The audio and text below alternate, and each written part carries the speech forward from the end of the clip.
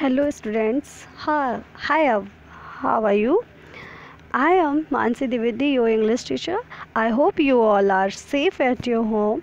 Students might be thinking, how will you do your study during this lockdown period? So don't worry, we have we are here to cooperate you and guide you. We will start today from English grammar chapter number second. Nouns person number and gender. Okay. Let's start today's class first. In the last session we learned about we learned about singular plural constable uh, sorry countable uncountable noun. Okay. And in this session we learn about uh, countable and uncountable and many more about it, okay? Let's start. ये जो class है, आपकी सिर्फ़ revision की है। जो अभी तक हमने पढ़ा, उसको फिर से पढ़ेंगे। बेटा, अगर एक चीज़ है तो जैसे एक डॉग है तो डॉग अगर एक से ज़्यादा डॉग है तो डॉग्स हो जाएगा, ठीक है? और सिंगुलर प्लूरल तो आपको पता है कि कोई एक चीज़ है तो सिंगुलर है, और एक से ज़्यादा है तो प्लूरल है। ठीक है? तो आपको ये लर्न होना चाहिए बकेट का बकेट्स आई का आईज ट्री का ट्रीज लैम्प का लैम्प्स का कुशन का cushions horse horses week weeks ठीक है? ये याद होना चाहिए। और उसके बाद ई एस ऐड करके हम कैसे सिंगलर से प्लूरल एक्सचेंज करते हैं? ये पता होना चाहिए बॉक्स का बॉक्सेस बस का बसेस बफेलो का बफेलोस पोटैटो का पोटैटोस ये आपको बहुत अच्छे से लर्न होना चाहिए। और आज के होमवर्क में बहुत इंटरेस्टिंग सा होमवर्क आपको मैं दूँगी इसी से रिलेटेड क्योंकि आपको अच्छे से आता होगा। मैंने ऑलरेडी तीन बार इसको रिवाइज़ कराया है। ठीक है? अब ये भी बात है कि सब नाउन सेंड इन एफ़ और एफ़ ई तो हम एफ़ या एफ़ ई को रिप्लेस करके क्या लिखते हैं? वी ई एस जैसे नाइफ का नाइफ्स वाइफ का वाइफ्स लीफ का लीव्स कुछ बच्चों ने, देखो मैंने इसका होमवर्क दिया था तो गलत किया था, जिस वजह से मुझे दोबारा से आपको रिवाइज़ कराना पड़ रहा है। ठीक है वोल्फ का वोल्फ्स अच्छा दूसरी जगह वाई को रिप्लेस करके हम आई ई एस लगाते हैं कुछ वर्ड्स में जस्ट लाइक फ्लाई का फ्लाइज आर्मी का आर्मीज़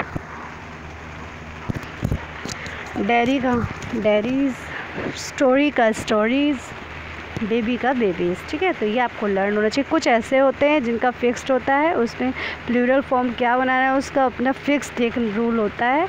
आपको उसे लर्न ही करना पड़ेगा, उसमें कोई भी टिप्स या ट्रिक नहीं चलती है। फुट का फीट टूथ का teeth child children ox oxen mouse mice women women ship ship deer deer ठीक है? इसके बाद मैंने आपको एक्सरसाइज करने को बोली थी इसमें कई बच्चों ने कुछ, काफ़ी कुछ गलत किया है और अभी आप लोगों ने ये एक्सरसाइज नहीं करके दी है। तो आज का वर्क यही एक्सरसाइज करना होगा, ठीक है? इसको करना पड़ेगा आज आपको। उसके बाद ये एक्सरसाइज काफ़ी बच्चों ने किया और अच्छे से भी किया है, ठीक है? और इसमें बेटा जो समझ में नहीं आया हो, वो आप मुझसे पूछ सकते हो, ठीक है? इसमें अब हमें सिर्फ़ जेंडर पढ़ाने रह गए हैं। अभी सिंगुलर प्लूरल आपको बहुत अच्छे से लर्न हो जाना चाहिए, बिल्कुल। देखो, एक बार फिर से मैं आपको बता रही हूँ सिंगुलर क्या है? A noun use for only one person animal place और thing is called singular noun the word book is a singular noun but अगर वन मतलब एक से ज़्यादा हो रहे हैं तो वहाँ बुक्स हो जाएगी। तो वो क्या हो जाएगा? प्लूरल फॉर्म हो जाएगा। अंडरस्टैंड अच्छा।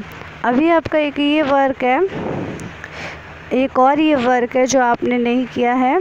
Can you think of how we would write the word dog if it was more than one कभी आपने सोचा है कि आप डॉग को जब एक से ज़्यादा होते हैं डॉग तो आप क्या लिख सकते हो?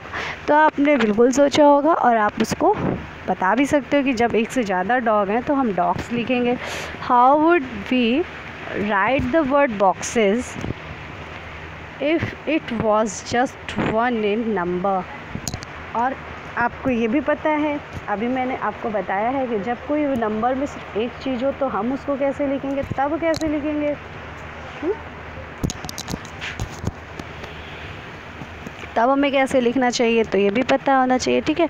तो एनिमल का एनिमल्स हो जाएगा तो डॉग का क्या हो जाएगा बेटा? डॉग्स डॉग का क्या होगा? डॉग्स थिंग का थिंग्स इसमें जैसे बताया तो आपको कुछ ऐसे वर्ड्स उस ऊपर दिए हैं, इनमें से यहाँ नीचे लिखने हैं और इस कॉलम को फिल करना है। Read the words under each picture see if the picture is an animal और थिंग अगर ये एनिमल और थिंग है तो इन्हीं में से आपको फाइंड आउट करके नीचे लिखना है, ठीक है? ये देखो एनिमल है तो एनिमल के नीचे डॉग लिखा है तो यहाँ आपको डॉग्स लिखना है। और गोट भी एनिमल है तो एनिमल के नीचे डॉग लिखा है तो यहाँ आपको डॉग्स लिखना है, ठीक है? थिंग है बेल तो यहाँ बेल्स लिखना है। एक्साइलोफोन तो एक्साइलोफोन्स लिखना है। आप समझ गए होंगे? थिंग में थिंग्स लिखे जाएँगे और कैमल या ये एनिमल है तो एनिमल्स में लिखा जाएगा, ठीक है? ये आपको करना पड़ेगा। अभी भी नहीं समझा तो फिर से समझाते हैं बेटा। इसमें कुछ भी आपको नहीं करना है। ये जो पिक्चर्स दे रखी है ना तो इसमें इसका आपको प्लूरल और सिंगुलर दोनों लिखना है। अगर वो एनिमल की कैटेगरी में जाता है एनिमल मतलब जिनके फोर पैर होते हैं, आप ये समझ लो, ठीक है? या जो वस्तु नहीं है, वही एनिमल है। इसमें देखिए कुछ दो कैटेगरी है, कुछ चीज़ सामान है, कुछ वस्तु है, कुछ थिंग है और कुछ क्या है? एनिमल्स है। तो तो एनिमल्स है। उन्हें यहाँ पर देखो लिखा है एनिमल है, जैसे डॉग तो यहाँ पर डॉग लिख दिया कैमल गोट और भी यहाँ पे कोई एनिमल ज़रूर होगा। पिजन ठीक है? तो ये तीनों चीज़ यहाँ लिख दी और उसी का प्लूरल बना के एस ऐड करके यहाँ इस वाले फॉर्म इस वाले एस वाले में लिख दिया। ठीक है?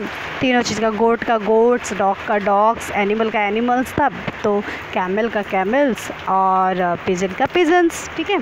ऐसे करना अब यहाँ जो चीज़ें हैं थिंग्स हैं, उनका नाम लिखना है। जैसे एग्जाइलोफोन बेल ठीक है? और एप्पल और क्या है? ग्लास ठीक है? तो ये चार चीज़ों के नाम इधर लिख करके फिर आपको उसमें ऐसे ऐड करना है। जैसे थिंग का थिंग्स ऐड है तो आपको ग्लास का ग्लासेस और एप्पल के एप्पल्स एक्साइलोफोन्स बेल्स इस तरीके से लिखकर ये पूरा टेबल फिल करना है। दो एक्सरसाइज आपकी रह गई थी। Okay good bye have a nice day